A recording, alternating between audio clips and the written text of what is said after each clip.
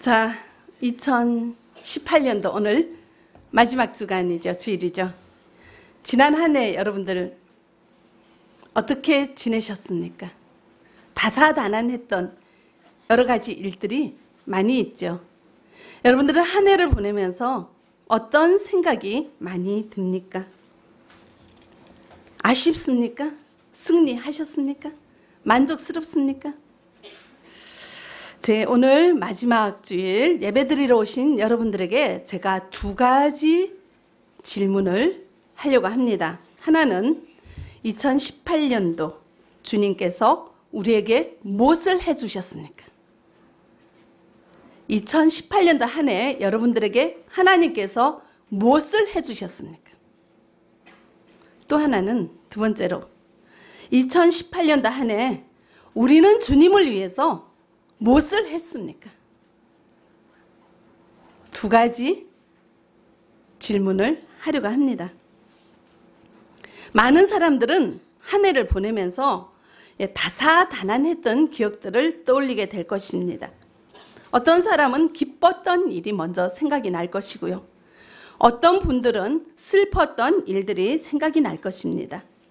사람들마다 다양한 사연을 가지고 다양한 이야기들을 가지고 지난 한 해를 보냈을 것입니다. 어떤 분은 아직도 이 마음속에 용서하지 못하는 사람으로 인해서 속을 끓이며 분노를 싹이며 그 사람이 앞에 없어도 날마다 날마다 그 분노와 미움과 증오에 사로잡혀서 지금까지 오신 분들도 계실 것이고 어떤 분은 다 지나가는 일이야. 잊으려고 애쓰고 용서하려고 애쓰면서 이 시간 예, 앉아 계시는 분들도 계실 것입니다. 너무나 좋았던 일, 꿈만 같았던 일들 때문에 행복했던 시간들도 있었을 것입니다. 제게 가장 기뻤던 일은 둘째 손자가 태어난 것입니다. 저희 가정에 얼마나 딸이 많습니까? 이 가문에 첫째도 손자요. 둘째도 손자를 예, 하나님께서 주셨어요. 근데 첫째는 엄마 닮아서 호리호리하고 예, 이렇게 좋은데 스마트하고 핸스만데 이 둘째 태어난 얘는요 우량아예요. 이 몸무게가 많이 나가는 사람 앞에서 세 번째예요. 그리고 키는 적은 사람 앞에서 몇 번째. 상상이 되시죠? 어떤 분은 누구를 여러분들 눈에 보이는 누구를 많이 닮았다고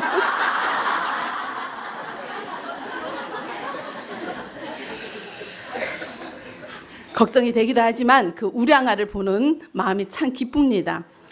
이렇게 하나님께서 지난 한 해를 돌아보면 참 여러 가지 일들이 생각이 나는데요. 그런데 저는 아까 한 질문을 여러분들이 생각해 보기를 원합니다. 작고 큰 일 가운데 예, 기쁜 일, 슬픈 일 가운데 주님께서 우리에게 하신 일들이 있습니다. 주님께서 우리에게 도와주신 일들이 있습니다. 나의 이야기의 사연 가운데 이제는 역사하신 하나님께로 눈을 들어 올리는 은혜가 있기를 바랍니다. 우리가 참 여러 가지 사건과 문제와 여러 가지 사연들 속에서 그 모든 것들이 내 힘으로 하는 것 같지만 결론적으로 보시면은 하나님께서 하시는 거잖아요. 하나님의 절대 주권에 대한 믿음이 없이는 하나님께서 나를 도우셨다. 하나님께서 나를 여기까지 인도하셨다.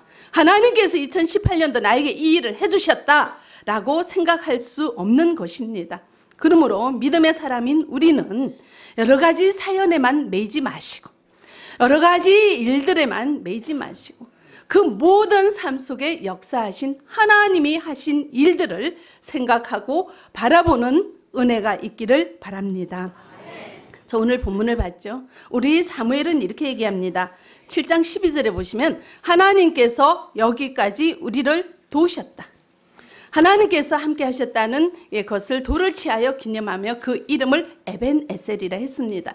그래서 에벤 에셀은 여기까지 도우셨다. 하나님께서 그런 의미이죠. 자, 그래서 우리도 이것을 한번 생각해 보기를 원합니다. 하나님께서 우리를 여기까지 도우신, 도우셨습니다. 그러기에 오늘도 우리는 이 자리에 있는 줄 믿습니다. 믿음으로 우리는 2018년도를 승리한 줄 믿습니다. 자, 우리 본문의 내용 같이 볼 때요. 사무엘상 7장은 이 사무엘이죠. 오늘 사무엘 이야기가 나오는데 이 사무엘은 마지막 사사로 부름받은 예, 사람이며 선지자이고 제사장이기도 합니다. 자, 이제 이 사사 시대예요. 사사 시대는 우리가 이제 이스라엘 백성들이 애굽에서 출애굽할 때의 지도자는 누굽니까? 모세죠. 모세의 뒤를 이어서 여호수아가 지도자가 되면서 이스라엘 백성들을 가나안 땅으로 이끌고 왔습니다. 근데 이 가나안 땅에는 이미 살고 있는 가나안 백성들이 있기 때문에 원주민이 있잖아요. 그래서 이들을 정복하는 전쟁을 마친 후에 이 땅에서 이스라엘 백성들이 살게 되었습니다. 여호수아를 통한 정백, 정복 전쟁을 끝난 후에 여호수아도 이제 다 하늘나라로 갔죠. 열두 지파가 이스라엘 땅을 분배해서 살고 있는데 이 이스라엘 백성들에게 문제가 생겼어요.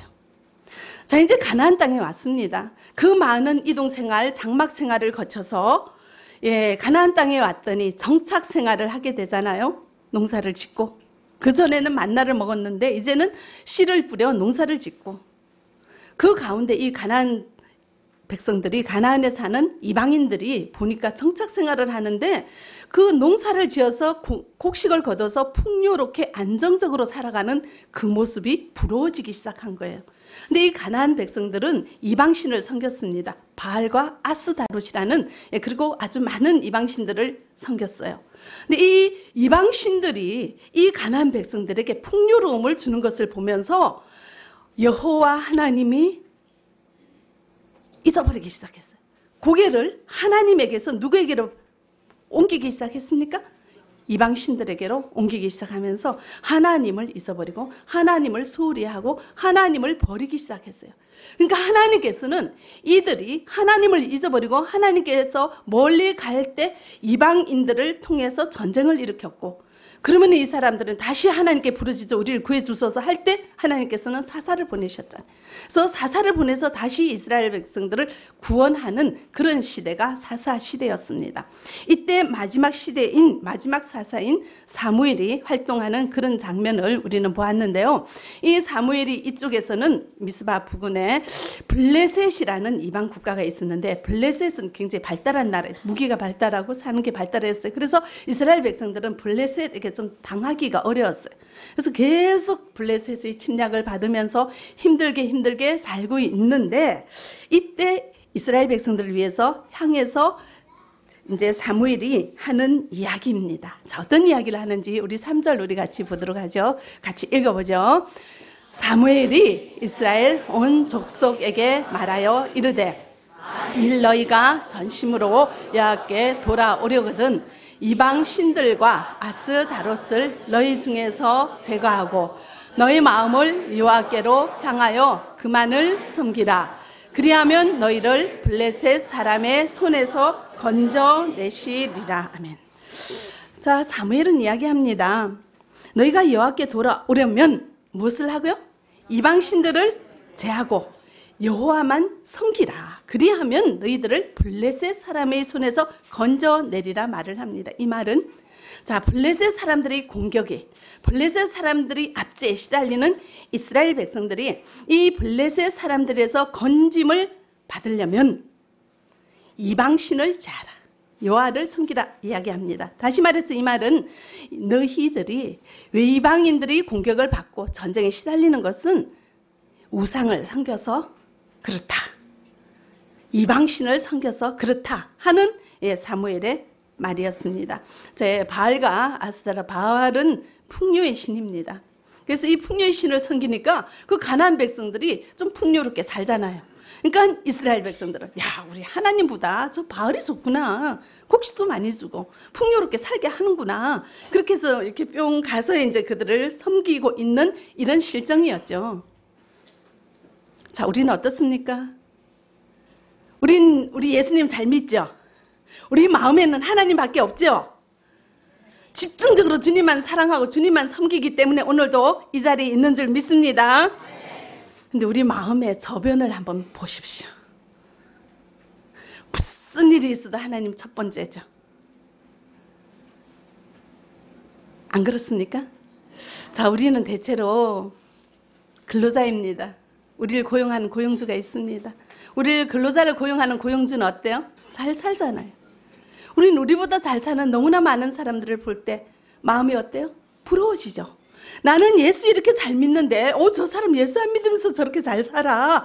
그럼 나한테 월급을 줘. 나는 빨리 돈 벌어가지고, 나도 저같이 잘 사는 사람이 돼야지.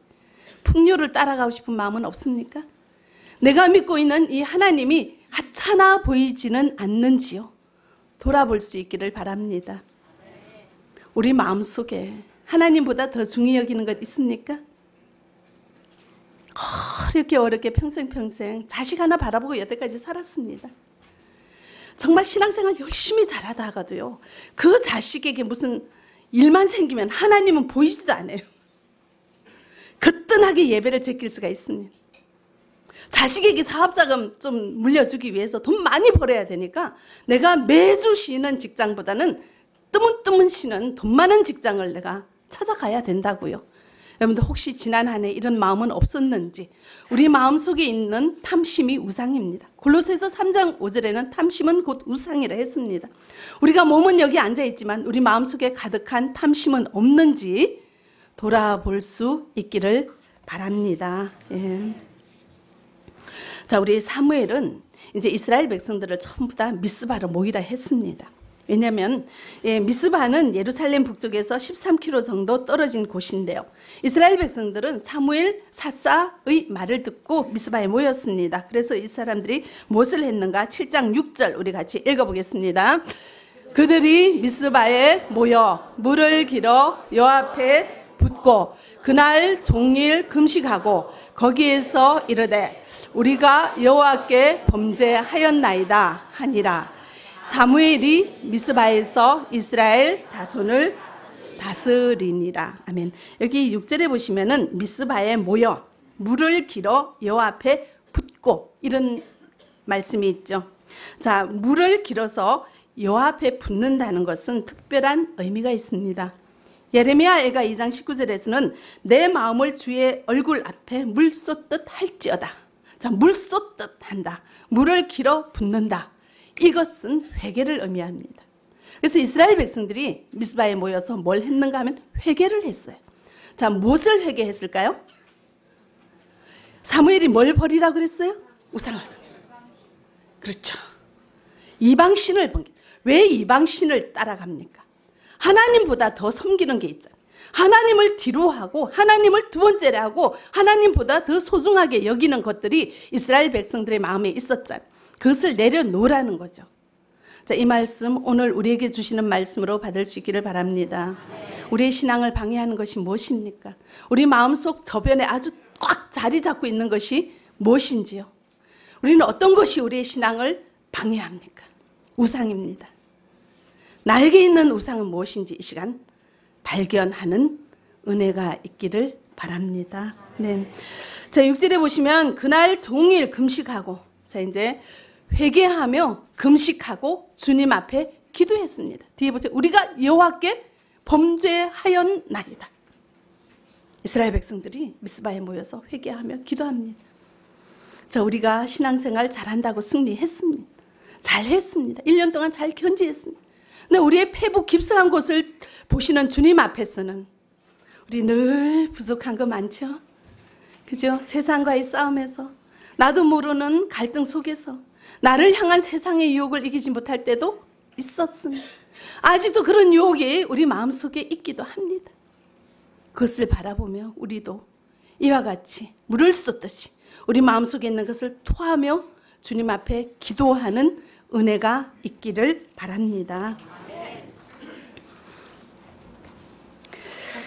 자, 이런 여기까지 우리를 도우신 하나님이신 늘 부족한데도 주님께서 깨닫게 하시고 주님을 다시 바라보게 하시고 우리의 손을 잡고 오늘 여기까지 인도하셨습니다.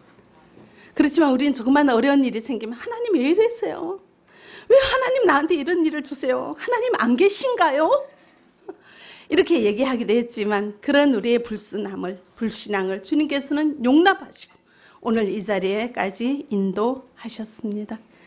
믿을 수 있기를 바랍니다. 주님을 인정할 수 있기를 바랍니다. 여기까지 도와주신 우리 주님을 바라보는 은혜가 있기를 바랍니다. 자, 이렇게 미스바에 기도하기 위해서 이스라엘 백성들이 모였습니다. 얼마나 귀합니까? 자, 사무엘이 미스바로 모이라 했는데 이스라엘 백성들이 모였어요. 그러니까 너희들 우상을 제거하라 하니까 그것을 놓고 주님 앞에 물을 쏟으며 금식하며 회개하며 기도합니다.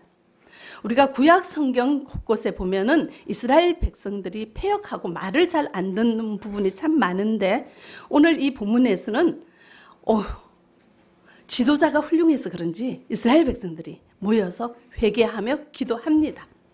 참 좋은 일이죠. 그런데 문제가 생겼습니다. 블레셋 사람들이 침략을 해요. 왜 그런가 하면 이제 그 이 당시에 고대 근동 이 지역에서는 자 전쟁을 하기 전에 사람들이 모여요. 그래서 사람이 모인다는 것은 전쟁을 준비한다고 사람들은 알고 있습니다. 근데 이 이스라엘 백성들이 회개하며 기도하기 위해서 모였는데 그 주변에 있던 블레셋 사람들이 야 저 사람들이 전쟁을 준비하는구나 이렇게 착각을 해서 야 우리가 먼저 공격하자 해가지고 쳐들어오게 되었습니다. 참 억울하지 않습니까? 하나님 앞에 잘하려고 우상을 제거하고 이방신을 제거하고 회개하고 기도하면 승리하게 해주신다고 블레셋 사람들의 손에서 건져 주신다고 하나님께서 분명히 말씀을 하셨는데 아, 그렇게 했더니 도리어 문제가 생겼습니다. 여러분들은 이런 경험 없습니까? 어떤 집사님, 어, 주님 신앙하는 거 너무 좋아서 제자반 하고 사역반까지 하고 있습니다. 얼마나 열심히 신앙생활 합니까? 사역반 한다는 것은 보통 일이 아니죠. 제자반 하고 또 사역반까지 연이어서 한다는 것 되게 어려운 일이에요.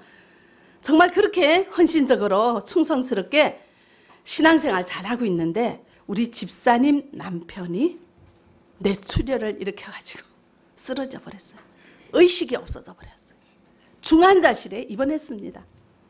자, 여러분에게 이런 일이 있다면 여러분들 어떻게 하시겠습니까? 마음이 막 여러 가지 생각이 막 지나가겠죠. 하나님, 나 열심히 했잖아요. 나 지금 사역만 하고 있잖아요. 그런데 왜 나한테 이런 불행한 일이 일어나요? 이렇게 이야기할 수 있는데 그 집사님은 그러지 않으셨어요.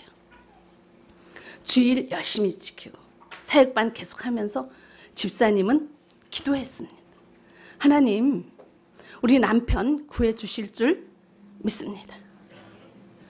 하나님, 왜 이런 일이 일어나죠? 아마도 저 사람, 우리 남편 구원하려고 그러시는 것 같아요. 그래서 계속 계속 기도하면서 변함없이 신앙생활을 했습니다. 원망하지 않고요. 그리고 이제 병원에 이제 중환자실에서 기도를 얼마나 했는지 의식이 돌아왔고 너무너무 감사해서 이 집사님은 모든 것은 하나님 손에 있다는 이 믿음이 확실했어요. 그러니까 아무리 어려운 일이 있어도 주님을 떠나지 않는 거예요. 그래서 매일매일 기도하면서 간구했을 때 그 남편 중환자실에서 이제 일반 병실로 내려왔습니다. 이제 집사님은 일하던 거 다 간두고 자기 남편을 이제 간호하기 시작했죠. 간병하기 시작했죠.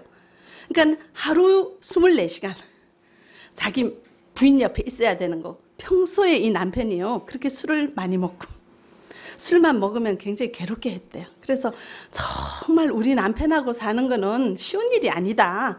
정말 정말 어떤 때는 밉기도 하고 아유 왼수 왼수 막 이렇게 막 속에서 막 화도 나고 그랬는데 이렇게 누워 있는 남편 보니까 아, 하나님께서 나를 통해서 이 사람 구원하려나 보다 해가지고 열심히 열심히 전도를 했어요. 그 간병하는 마누라의 이야기 안 들을 수가 없잖아요. 옛날에는 예수 얘기만 하면 막 그런 소리 하지 말라고 막 소리 지르고 이랬는데 이제는 계속 계속 듣다 보니까 남편에게도 믿음이 생기고 기도하기 시작했어요. 하나님 나 좀 낫게 해주세요. 기도하면 하나님 도와주실 거야. 이렇게 이제 기도하기 시작했는데요. 그렇게 병실에 누워있던 이분이 이제 퇴원을 하고 걸어 다닐 수 있고. 근데 아무래도 뇌출혈, 뇌에 이제 문제가 생겨가지고 뇌가 막혀서 그런 거잖아요. 걸음 같은 게 굉장히 불편하고 잘 걸을 수는 없는데, 지난번에 특별 찬양할 때 올라왔잖아요. 그죠? 그 걷기도 잘 어려운 그 몸을 가지고 여기 이제 특별 찬양하러 올라오기까지 하나님을 진심으로 섬기는 예, 그 과정이 되었습니다. 그래서 집사님은 그 과정 속에서도 이렇게 저는 우리 남편 아픈 게 좋아요. 물론 좋진 않겠지만 아, 너무 행복하대요.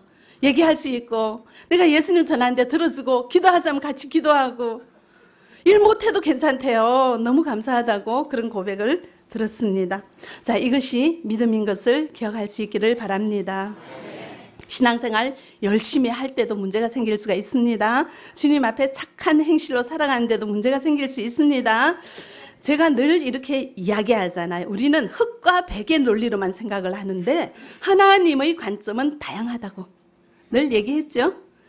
자, 어떤 사람은 이런 궁금하다고 하더라고요. 왜 담임 목사가 저렇게 열심히 사역하는데 눈이 탈이 났을까? 왜 눈이 고장이 났을까? 사람들은 그렇게 의문이 든대요. 그래서 이제 신앙생활 잘해도 문제가 생길 수가 있고요. 또 사역을 하는 사역자도 문제가 생길 수 있고 왜냐하면 하나님 앞에 피조물이잖아요. 하나님 후 불면 날아가는 연약한 생명을 가진 피조물이잖아요. 그 어떤 선을 행함으로도 고난을 받을 수 있는 것이 이 세상 만물의 이치인 거죠. 하나님께서 왜 내 눈이 고장나게 하셨을까요? 하나님께서 보시는 거예요. 여기서 내가 맨날 선포하잖아요. 믿음대로 살라고. 합력하여 선을 이룬다. 고난 가운데도 기뻐하라고. 얼마나 말을 하잖아요. 그러니까 하나님께서 보시는 거죠. 너 그런 일 당하고도 기뻐할 수 있어? 보시는 거죠. 그래서 제가 그걸 저한테 물어봤어요. 어, 만약에 눈이 깜깜하게 돼서 안 보이면 어떡할까요? 고민을 했는데, 뭐, 아멘이죠, 뭐. 어떻게 할 수 없잖아요. 그걸 하나님 왜 이랬습니까? 그런 생각이 하나도 안 들더라고요. 그래서, 야, 이 시험에서 내가 패스했구나. 통과했구나. 하나님께서 보시는 거예요. 어떤 일도 보시는 거예요. 너 말한 대로 그 믿음이 있니? 너 말한 대로 살 수 있는 믿음이 있니? 보시는 거예요. 하나님께서는 또한 그것을 넘어서서 역사하시는 다양한 섭리가 있어요. 제가 이제 눈이 고장이 나서 봤더니 내 인생의 마지막이 가까이 느껴졌어요. 그전에는 저는 좀 체력이 좋고 힘이 좋고 뭐든지 이렇게 왕성하니까 뭐 영원히 살 수, 어, 나도 뭐 천국 가겠지 했는데 그 때가 언제일까 실감이 안 났어요.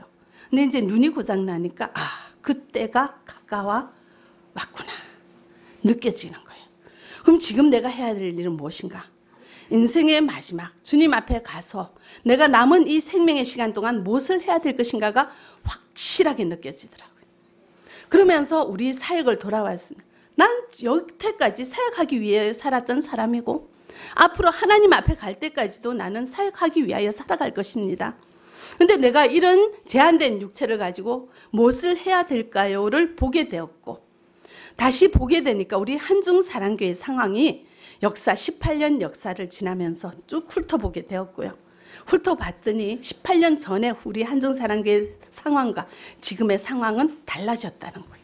그리고 앞으로 한중사랑교회 상황은 달라질 것이라는 것을 더 가까이 느낄 수 있는 지혜를 하나님께서 주셨어요.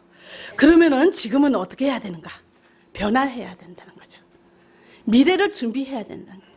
막연하게 미래를 준비해야 된다 생각했지만 구체적으로 그럼 미래를 준비하기 위해서 지금 당장 해야 될 것이 무엇인가를 확실하게 알게 하고 내가 이 세상 끝나고 하나님 앞에 갔을 때 남겨진 한중사랑교회가 한중사랑교회의 핵심 가치가 우리 다음 세대, 다음 수세대, 그리고 전 지역에, 중국 전 지역에, 북한 전 지역에 전파될 수 있는 기틀을 마련해야 되는 것이 지금 해야 될 일이 무엇인가를 깨닫게 해 주셨어요. 한중사랑교회 사역을 더욱더 견고하게 하기 위하여 하나님께서는 탈이 나게 하시고 탈을 통해서 연약한 피조물인 것을 다시 한번 고백하게 하시고 하나님 앞에 엄청 엄청 또 회개했어요. 돌아봤더니 얼마나 지연죄가 많은지 교만했고 자만했고 뭐 그런 거 막 생각이 나서 이제 뭐 회개도 하고요. 그래서 앞으로 사역을 어떻게 해야 될 건지도 돌아보는 합력하여 선을 이루시는 하나님을 발견했습니다. 믿으시기 바랍니다. 우리에게 어려움이 있을 때 여러분들 원망하고 불평하지 마시기 바랍니다. 어려움 가운데 나를 향한 주님의 사랑이 있음을 여러분들 깨달을 수 있기를 바랍니다. 자, 이제 이스라엘 백성들이 기도하며 회개하며 이렇게 모여 있는데 블레셋 사람들이 쳐들어왔어요. 자, 이스라엘 백성들이 어떻게 했을까요? 어머, 기도해도 별 수 없네. 저 블레셋 사람들에게 이기게 해준다더니, 건짐을 당하게 해준다더니, 왜 이런 전쟁이 일어났는가? 하지 않았어요. 계속 기도했어요. 그러면서 사무엘에게 부탁했어요. 우리를 위해서 중보를 해달라. 부탁을 하니까 사무엘은 이스라엘 백성들을 위해서 자 이제 전쟁이 일어났어요. 그런데도 불구하고 기도하는 이 와중에 번제를 드렸습니다. 자, 우리 보죠. 3일상 7장 9절 10절 우리 같이 읽어보겠습니다. 사무엘이 젖 먹는 어린 양 하나를 가져다가 온전한 번제를 여호와께 드리고 이스라엘을 위하여 여호와께 부르짖음에 여호와께서 응답하셨더라. 사무엘이 번제를 드릴 때 블레셋 사람이 이스라엘과 싸우려고 가까이 오매 그 날에 여호와께서 블레셋 사람에게 큰 우레를 바라여 그들을 어지럽게 하시니 그들이 이스라엘 앞에 패한지라. 계속 기도했어요. 그리고 저, 적군들이 쳐들어오는데 이 사무엘은 번제를 드렸습니다. 예배를 드린 거죠. 제사를 드린 거죠. 번제는 뭡니까? 제단 위에 제물을 올리고 불에 태워 드리는 제사잖아요. 이렇게 번제를 드리니까 하나님께서 이들의 믿음을 확인했죠. 도망가지 않은 거예요. 하나님 앞에 기도한다는 주님께서 하신다는 주님의 절대 주권을 믿는 믿음 앞에서 견고하게 주님 앞에 있었다고요. 그랬더니 하나님께서는 어떤 방법으로 블레셋 사람을 무찌르게 했을까요? 우레를 바랬습니다. 우레를 바래서 블레셋 사람들이 혼비백산하게 하면서 그리고 이제 그 뒤를 이스라엘이 추격해서 블레셋 사람들을 무찌르고 승리하는 결과를 주셨습니다. 그래서 이 일을 위하여 사무엘은 돌을 만들고 하나님께서 여기까지 도우셨다. 고백하는 사무엘이었습니다. 자, 우리에게도 이와 같은 믿음이 있는 줄 믿습니다. 참 다야 다사다난했던 지난 한 해였지만 여러 가지 일들이 있었지만 비록 우리가 부족해서 때로는 실패하기도 하고 때로는 예, 참 죄를 짓기도 했지만 늘 우리는 주님 앞에 우리의 모습을 돌아보며 회개하며 기도하며 주님을 믿는 절대 믿음으로 오늘도 여기까지 온 줄 믿습니다. 자, 우리 모든 삶 가운데 인생 가운데 인생의 시간들 가운데 주님께서 하신 일들이 있음을 발견할 수 있기를 바랍니다. 하나님께서 도우셨습니다. 예, 하나님께서 도우시는 그 은혜의 손길을 기억하는 우리가 되어지기를 바랍니다. 그런데 구약에는요, 이제 주님 앞에 나가서 제사를 지내려면 꼭 제단 위에 제물을 드려야 돼요. 그래서 이 제사장이 백성들의 죄를 대신하여 사하고 그래서 하나님께서는 이들을 연락하셨어요. 그런데 이 이제는 우리가 지금 그런 재단 위에 재물을 올려놓고 예배를 드립니까? 안 그러죠? 이 재물을 왜 우리가 안 드리고도 주님 앞에 이렇게 예배를 드릴 수가 있을까요? 예수 그리스도께서 친히 십자가에서 죽으심으로 영원한 제사를 드렸잖아요. 자신의 육신을 십자가에 못 박고 피 흘리심으로 영원한 제물이 되셨어요. 히브리스에 보면은 예수 그리스도께서 이 제사를 단번에 드리시고 완성했다 합니다. 온전한 번제를 드려서 영원한 제사를 드렸습니다. 그래서 우리는 다시는 이런 제사를 드리지 않고 오직 누구의 이름으로 예수 그리스도의 이름으로 주님 앞에 담대하게 나올 수 있는 특권을 얻게 된 것입니다. 구약에는 매번 매번 매번 제사를 근데 우리는 예수님 주님 부르기만 하면 하나님이 그런 제사의 과정을 거치지 않고도 우리가 주님 앞에 나올 수 있는 영원한 대제사장이 되었다고요. 자, 누구 덕분에?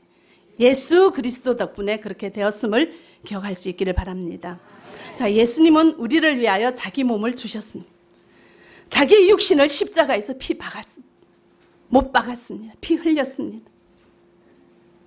우리는 이런 주님에게 무엇을 드렸습니까? 제가 처음에 질문을 두 가지 했습니다. 하나는 주님께서 우리를 위해서 무엇을 하셨는가? 질문했습니다. 두 번째는 우리가 주님을 위해서 무엇을 했습니까? 우리는 주님 앞에 무엇을 드렸습니까? 예수 그리스도는 우리를 위하여 자기 몸을 주셨습니다. 자기의 생명을 드리기까지 주님 앞에 헌신하고 순종했습니다. 우리 예수 그리스도의 생명으로 십자가에 피로 구속함을 받은 우리는 죄사함 받은 우리는 그래서 언제든지 주님 앞에 담대하게 하나님 앞에 담대하게 나갈 수 있는 특권을 얻은 우리는 주님 앞에 무엇을 드렸습니까? 지난 한 해. 2018년도 무엇을 드렸습니까? 돌아볼 수 있기를 바랍니다.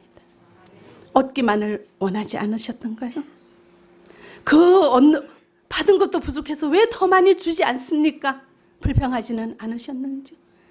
나 열심히 했는데 왜 이런 고난을 주십니까? 불평하지는 않으셨는지. 이제는 우리가 주님을 위하여 무엇을 했는가 돌아보며 2019년도에는 우리 주님 앞에 우리의 것을 아낌없이 드릴 수 있는 새해가 되어지기를 바랍니다.